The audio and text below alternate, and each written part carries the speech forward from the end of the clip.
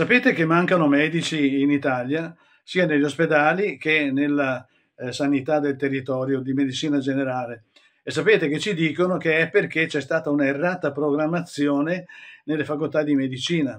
Invece non è così, il motivo è tutto un altro. È andato a dirlo a una convention sulla sanità a Milano un primario di Padova, che si chiama Giampiero Avruscio e conosco molto bene.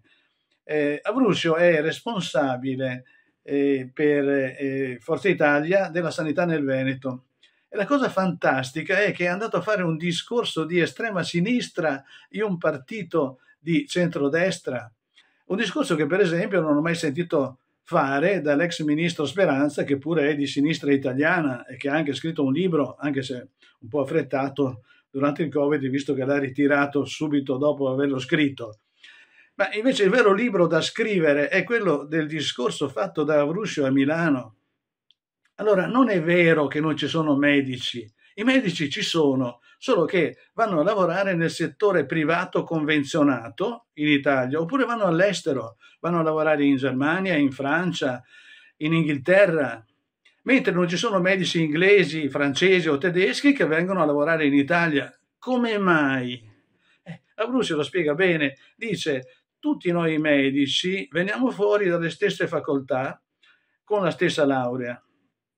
Però cosa succede quando andiamo a lavorare? Che se andiamo nel settore privato convenzionato, lo Stato ci fa un certo tipo di contratto con un certo trattamento economico.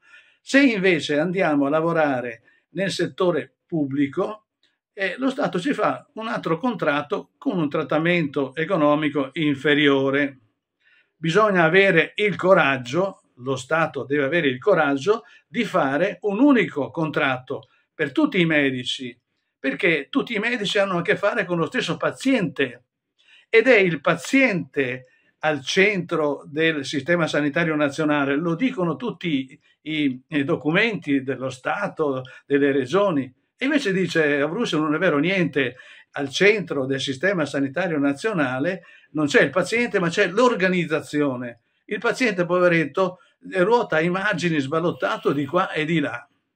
Ecco, solo in questo momento è partito un applauso da parte del pubblico che lo ascoltava. Secondo me l'applauso doveva partire anche prima, quando parlava di contratti.